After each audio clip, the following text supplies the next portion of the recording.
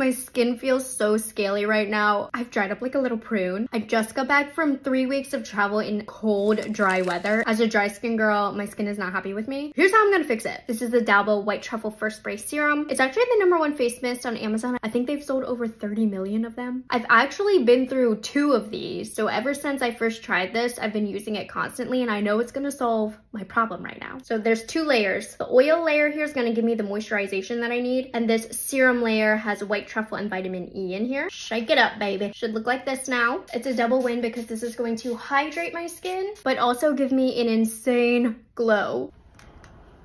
This is how it looks after it's dried. Getting glass skin is not hard, just saying. So I'm gonna spray this on multiple times throughout the day before I go to bed, and it's gonna fix all of my problems and hydrate my skin. Like even to the touch, my skin already feels more hydrated because the more you use it, the better results that you get. If you have dry skin like me, try it out.